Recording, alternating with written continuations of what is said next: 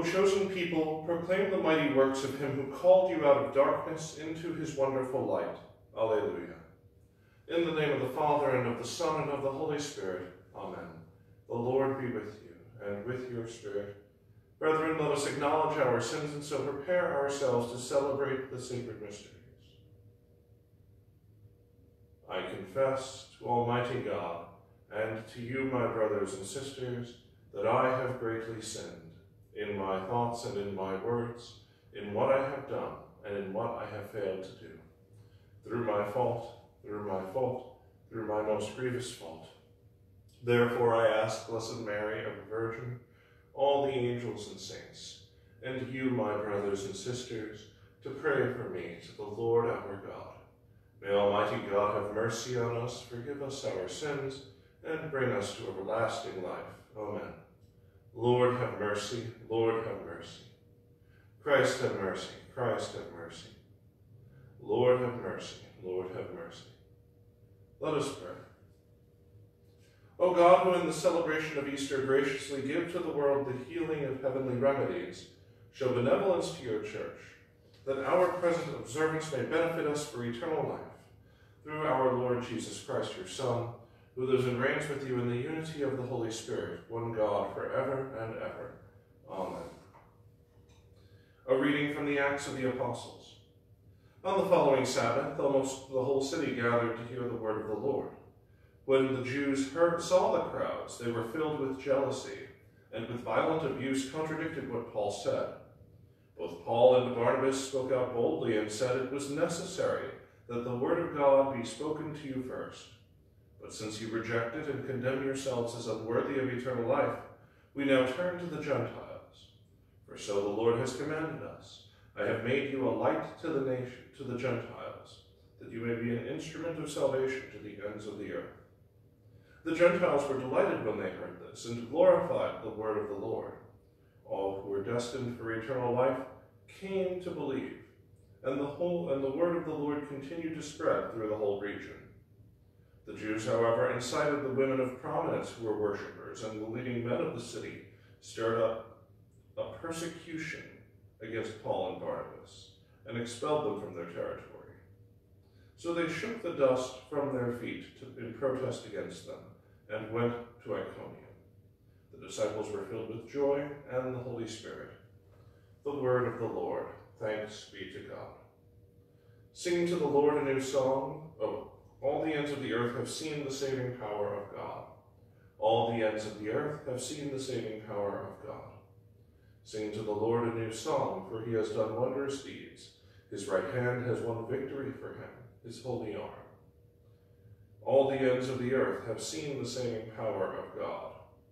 The Lord has made his salvation known. In the sight of the nations, he has revealed his justice. He has remembered his kindness and his faithfulness toward the house of Israel. All the ends of the earth have seen the saving power of God. All the ends of the earth have seen the salvation by our God. Sing joyfully to the Lord, all you lands. Break into song, sing praise. All the ends of the earth have seen the saving power of Alleluia,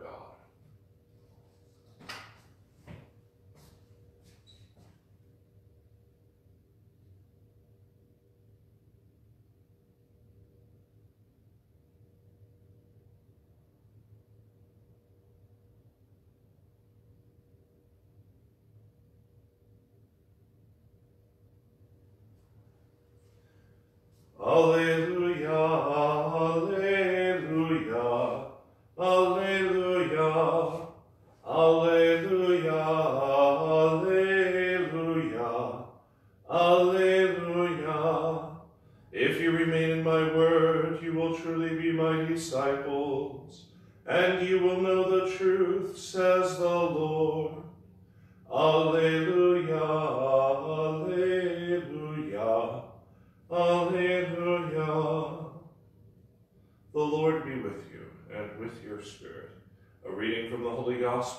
according to John. Glory to you, O Lord. Jesus said to his disciples, If you know me, then you will also know my Father. From now on you do know him and have seen him. Philip said to Jesus, Master, show us the Father, and that will be enough for us. Jesus said to him, Have I been with you for so long a time, and you still do not know me, Philip? Whoever has seen me has seen the Father. How can you say, Show us the Father? Do you not believe that I am in the Father, and the Father is in me? The words that I speak to you, I do not speak on my own. The Father who dwells in me is doing his works. Believe me that I am in the Father, and that the Father is in me, or else believe because of the works themselves. Amen, amen, I say to you, whoever believes in me will do the works that I do, and will do greater ones than these, because I am going to the Father. And whatever you ask in my name, I will do, so that the Father may be glorified in the Son. If you ask anything of me in my name, I will do it. The Gospel of the Lord. Praise to you, Lord Jesus Christ.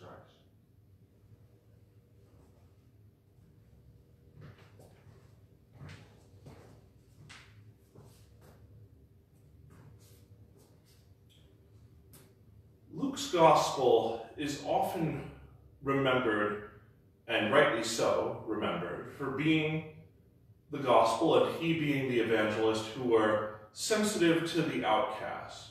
He, beyond all the other apostle, um, evangelists, gives the most emphasis on Christ's female disciples, on the women who followed him, and paints them in the most convincing and thorough light.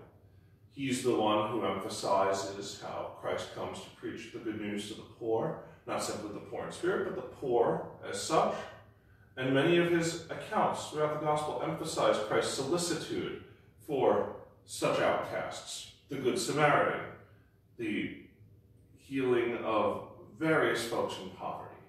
There's an emphasis in Luke that the kingdom of God involves the odd man out. And in a sense, it can't get started until he shows up to the feast. You see this emphasis in the other Gospels of how the downtrodden are to be welcomed, but there's almost a sense in the whole Gospel of Luke, much like in the story of the prodigal son itself, that the feasting that the father would send and, and celebrate can't start until the prodigal son gets home. Everyone else there was happy enough in the story of the prodigal son, no? But the party can't start till the guy who spent his father's inheritance on prostitutes gets home, and then the party can start. That parable is an encapsulation of the whole idea that Luke has for what the kingdom of God entails. Now you might say, well, we had the Gospel of John. Where did we hear from Luke? Well, the Acts of the Apostles is the sequel to the Gospel of Luke. The two are intimately related, and even the most hard-nosed scholars who would deny that Luke wrote it, who would sooner postulate that a Martian wrote it, or someone on the planet Xenu, or what have you, and, and even, even if they're willing to admit that someone else had to write it, however weird their theory might be, just about everyone admits that Acts and Luke were written by the same person. And we see in the account from Acts of the Apostles today a different sort of exclusion. Because it's interesting, normally, of course, Luke identifies with those who stand out, who don't quite fit in, who don't quite get it. But we have here the authorities, the Jewish authorities, who are jealous of the crowds, of the Gentile crowds, that Paul and Barnabas, preaching the gospel, have whipped up in their city, such that the entire city is present to hear the word of God. And yet, the Jewish authorities, called here the Jews, are, are jealous of. I think we're often reluctant to preach on this mystery because it can imply that we extend this description to every Jew and every point of history, which we certainly should not and indeed cannot do. It wouldn't be fair. But if we take Luke as a reliable witness here, we recognize how in this particular case, a group of people, a small group of people in a particular city, were jealous of the spiritual progress and good of others. And this is the very heart of spiritual death. St. Thomas Aquinas and others will explain the various sins against the Holy Spirit. You may remember the passage phrased in Luke and in Matthew both of how any word speak, spoken against the Son of Man will be forgiven. But the sin committed against the Holy Spirit will not be forgiven in this age or in the age to come. To speak of the sin of the Holy Spirit does not mean that we reject the forgiveness of all sin. Christ came to save sinners, and he wills that all be saved, all men be saved and come to the knowledge of the truth. And that would include the most inveterate of sinners. But there are some sins, these sins against the Holy Spirit, that by their own commission threaten the very dynamic of being saved. We preach much on mercy, but what do we say to those who maintain that they're not in need of mercy? We preach understanding, but what do we say of those who have adopted a false sense of understanding, or have, on account of their attitudes or assumptions, alienated themselves from others to such a great degree? Sins against the Holy Spirit undercut the very dynamic of what it means to be saved. And that doesn't mean that we write anyone off. That is not our job. But we do have to be honest and open about the implications that it carries. And to be jealous of another's spiritual good, to willingly and deliberately fail to see the good that is going on, or worse, to see that good and to reject it, darkens the intellect and perverts the will to the point where light itself will be oppressive to such a person.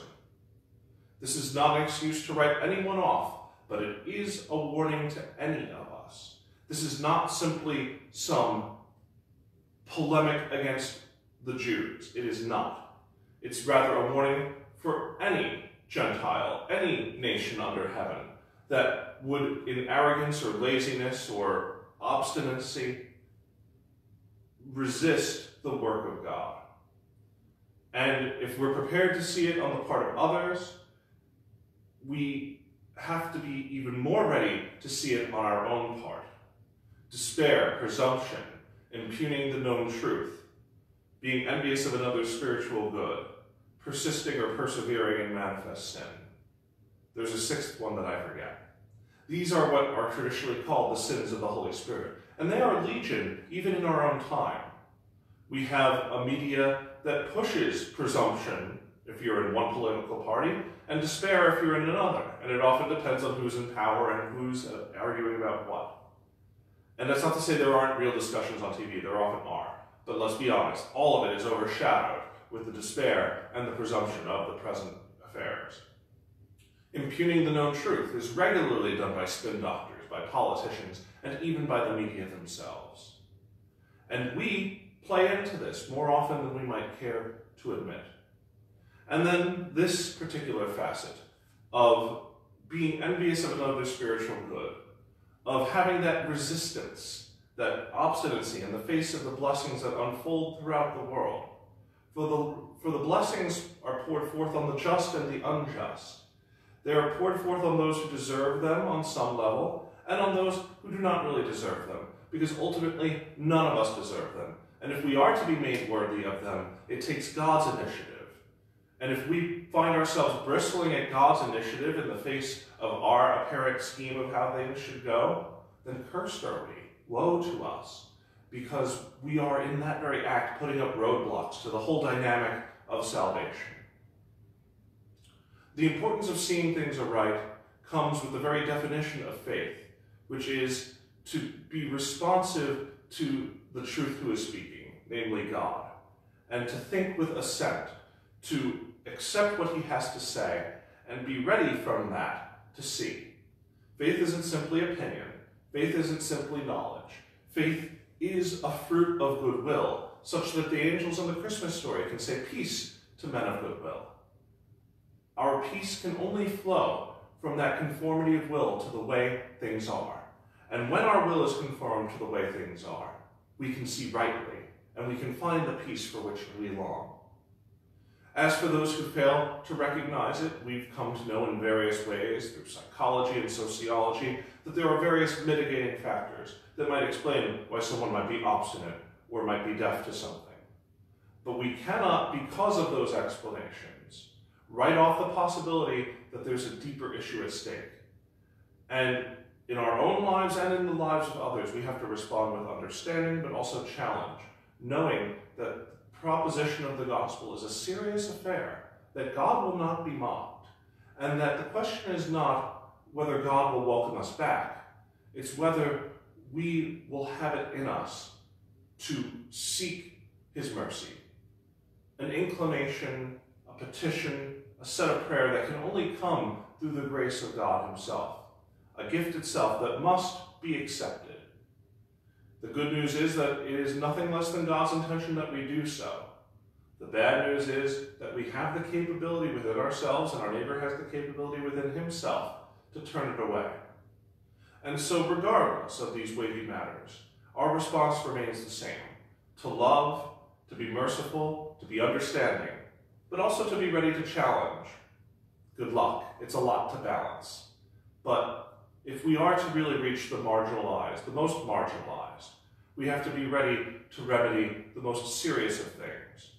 And when it comes to the work of grace, things that lie beyond our immediate power, things that are not within our control, we can only radiate the joy, the peace, and the understanding that God Himself has shown us, and hope that by extension it will mean something in the lives of those that we might judge as wayward.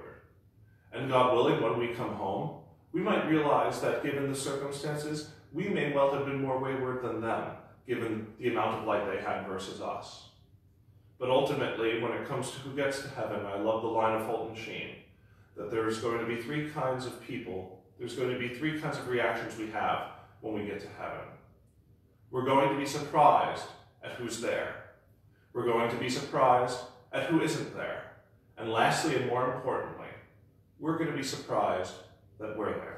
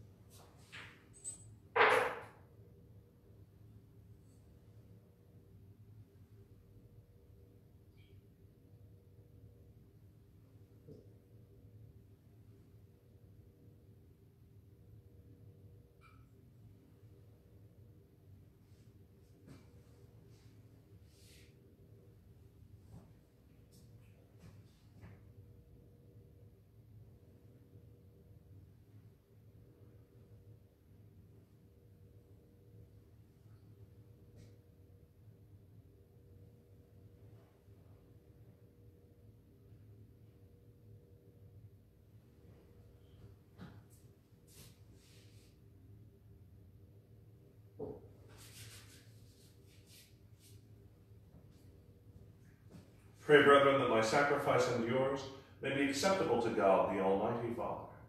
May the Lord accept this sacrifice at your hands for the praise and the glory of his name, for our good and the good of all his holy church. Graciously sanctify these gifts, O Lord, we pray, and accepting the oblation of this spiritual sacrifice, make of us an eternal offering to you, through Christ our Lord. Amen. The Lord be with you, and with your spirit. Lift up your hearts, we lift them up to the Lord. Let us give thanks to the Lord our God. It is right and just. It is truly right and just, our duty and our salvation, at all times to acclaim you, O Lord. But in this time above all, to laud you yet more gloriously, when Christ our Passover has been sacrificed. Through him the children of light rise to eternal life, and the halls of the heavenly kingdom are thrown open to the faithful. For his death is our ransom from death, and in his rising the life of all has risen. Therefore, overcome with paschal joy, every land, every people exults in your praise, and even the heavenly powers with the angelic hosts sing together the unending hymn of your glory as they acclaim, Holy, holy, holy, Lord God of hosts. Heaven and earth are full of your glory. Hosanna in the highest. Blessed is he who comes in the name of the Lord. Hosanna in the highest. You are indeed holy, O Lord, and all you have created rightly gives you praise. For through your Son, our Lord Jesus Christ, by the power and working of the Holy Spirit, You give life to all things and make them holy. And you never cease to gather a people to yourself, so that from the rising of the sun to its setting, a pure sacrifice may be offered to your name. Therefore, O Lord, we humbly implore you, by the same Spirit, graciously make holy these gifts we have brought to you for consecration, that they may become the body and blood of your Son, our Lord Jesus Christ, at whose command we celebrate these mysteries. For on the night he was betrayed, he himself took bread, and giving you thanks, he said the blessing, broke the bread, and gave it to his disciples, saying, Take this, all of you, and eat of it. For this is my body, which will be given up for you.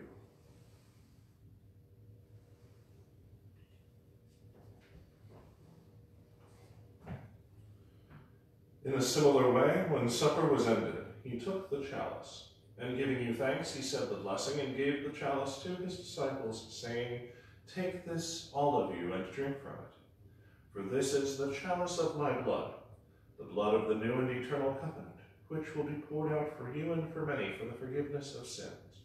Do this in memory of me.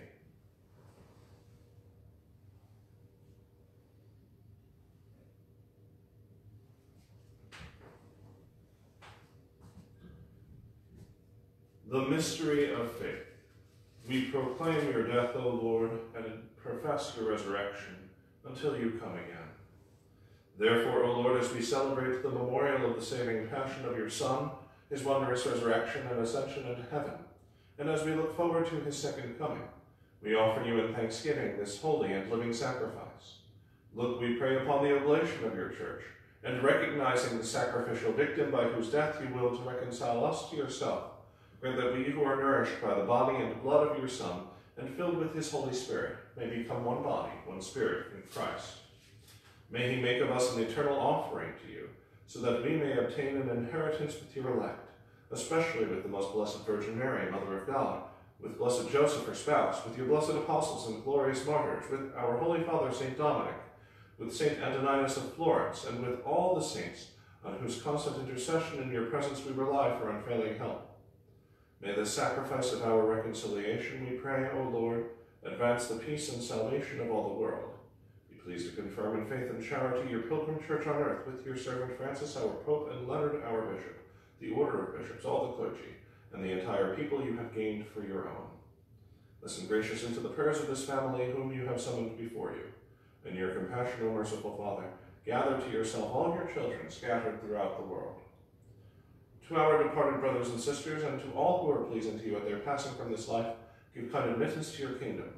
There we hope to enjoy forever the fullness of your glory through Christ our Lord, through whom you bestow on the world all that is good. Through him and with him and in him, O God, Almighty Father, in the unity of the Holy Spirit, all is yours forever and ever. Amen. At the Savior's command, informed by divine teaching, we dare to say, Our Father, who art in heaven, hallowed be thy name.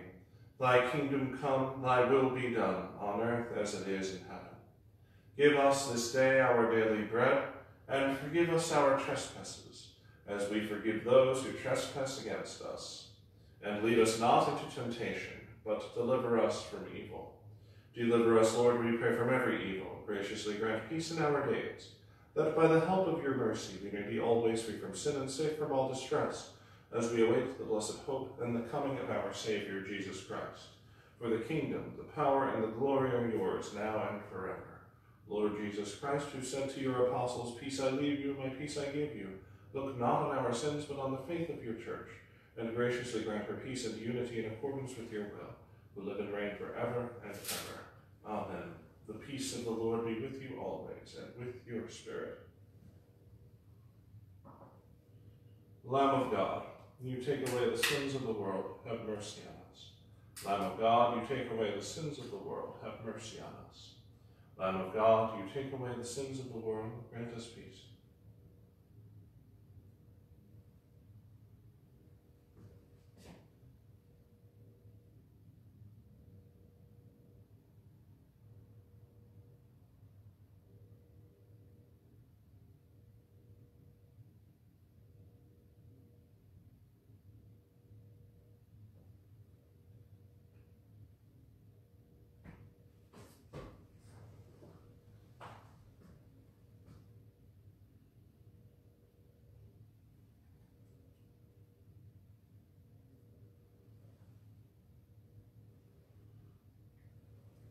Behold the Lamb of God, behold him who takes away the sins of the world. Blessed are those called to the supper of the Lamb. Lord, I am not worthy that you should enter under my roof, but only say the word, and my soul shall be healed.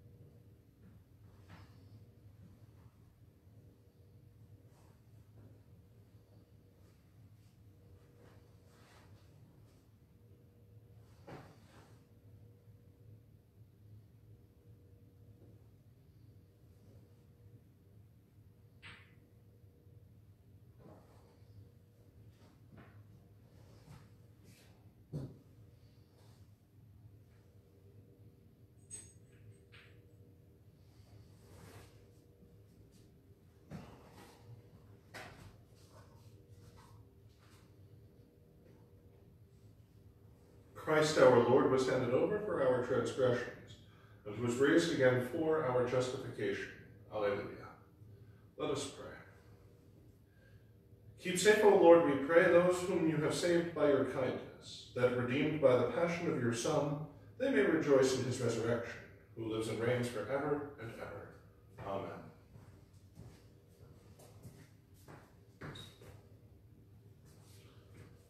The Lord be with you and with your spirit. May Almighty God bless you, the Father, and the Son, and the Holy Spirit. Amen. Go in peace. Thanks be to God.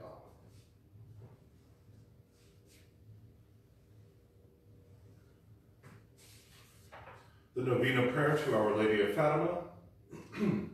o Mary, Our Lady of the Rosary, Mother of God, Queen of the angels and of the saints, I salute thee with the most profound veneration and filial devotion. I renew the consecration of myself and all that I have to thee. I thank thee for thy maternal protection and for the many blessings that I have received through thy wondrous mercy and most powerful intercession. In all my necessities I have recourse to thee with unbounded confidence. O help of Christians, O Mother of mercy, I beseech thee now to hear my prayer and to obtain for me of thy divine Son the favor that I ask in this novena. Obtain for me also, dearest Mother, the grace that I may imitate thee and become more like to thee in the practice of the virtues of humility, obedience, purity, poverty, submission to the will of God, and charity. Be my protectress in life, guard and guide me in dangers, direct me in perplexities, lead me in the way of perfection, and assist me in the hour of my death, that I may come to Jesus and with thee adore him, and love him eternally in heaven. Remember, O most gracious Virgin Mary, that never was it known that anyone who fled to thy protection, implored thy help, or sought thine intercession was left unaided. Inspired with this confidence, I fly unto thee, O Virgins, O Virgins, my Mother. To thee do I come, before thee I stand, sinful and sorrowful. O Mother of the Word incarnate, despise not my petitions, but in thy clemency hear and answer me. Amen. May the souls of the faithful departed through the mercy of God rest in peace, and light perpetual shine upon them. Amen. Saint Michael, the Archangel, defend us in battle. Be our protection against the wickedness and snares of the devil. May God rebuke him, we humbly pray, and do thou, O Prince of the heavenly host, by the power of God, cast into hell Satan and all the evil spirits who prowl about the world, seeking the ruin of souls. Amen.